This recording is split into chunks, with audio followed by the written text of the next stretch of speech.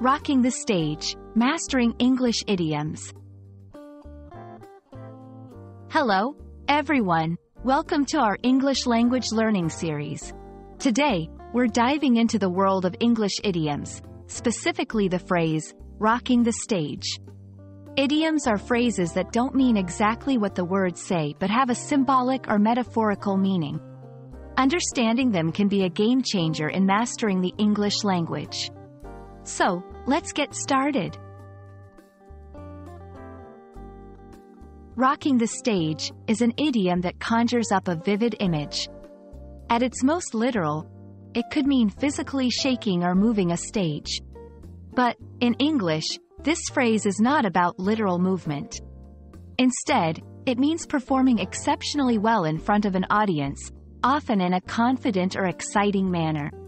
It's commonly used in contexts where someone is showing their talent, especially in music or public speaking. To fully appreciate an idiom, it's helpful to know its origins. The phrase, rocking the stage, likely comes from the world of rock music. In concerts, when a band performs energetically and gets a positive response from the audience, they are said to be rocking. This idea then expanded beyond music to describe any outstanding performance in front of a crowd.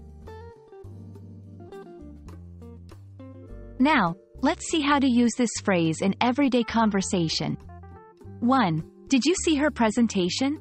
She was rocking the stage with her confidence and expertise. 2. The band really rocked the stage last night. The crowd was going wild. Notice how the phrase is versatile and can describe various scenarios where someone is impressing an audience. English is rich with idioms that convey the idea of doing well. Here are a few similar phrases. Knocking it out of the park. Originally from baseball, meaning to do something exceptionally well. Nailing it. Doing something successfully, especially when it's challenging. Stealing the show, capturing all the attention and praise in a situation. Understanding these phrases will enrich your English vocabulary and make you sound more like a native speaker. That's all for today's lesson on the idiom, rocking the stage. Remember, idioms are the spice of the English language, adding flavor to everyday conversations. We hope this video helps you understand and use this phrase confidently in your English conversations. Keep practicing, and soon you'll be rocking the stage of English language learning. See you in the next video.